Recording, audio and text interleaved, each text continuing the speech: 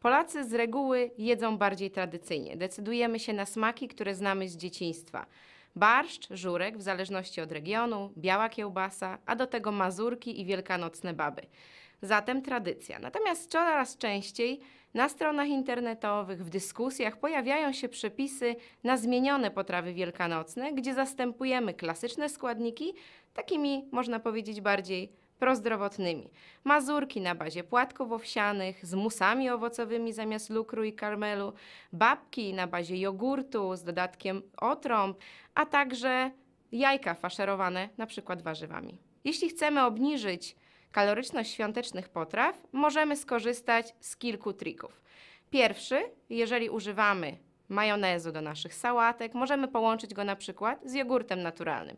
Majonez niestety ciągle ma jeszcze zły PR. Dlaczego? Zawiera sporo tłuszczu, ale pamiętajmy o tym, że najczęściej powstaje na bazie oleju rzepakowego, więc są to tłuszcze dobre. Kwestia ilości, czyli to powinien być zawsze dodatek, a nie główna część naszej potrawy. Przygotowujemy wywar na typowy domowy żurek. Jeśli go schłodzimy, możemy nadmiar tłuszczu zebrać, przez co będzie mniej tłusty.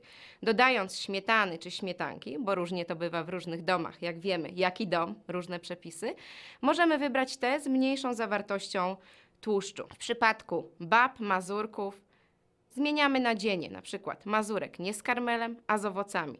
Wykorzystujemy mąkę pełnoziarnistą. Także tych sposobów jest całkiem sporo. Przygotowując obiady już dla rodziny, bo wiemy, że Wielkanoc to głównie to uroczyste śniadanie, ale rodzina zostaje u nas również najczęściej na obiad. Wybierajmy chude gatunki mięs. Jeżeli faszerujemy jajka, które są kapsułą wartości odżywczych, pamiętajmy o warzywach i sałatki. Tu możemy już troszkę wnieść nowości i świeżości do naszej kuchni. Starajmy się wykorzystać jak największe ilości warzyw, które w tej chwili według ekspertów są podstawą piramidy zdrowego odżywiania. I pamiętajmy o ruchu, czyli tak spędzajmy czas z bliskimi.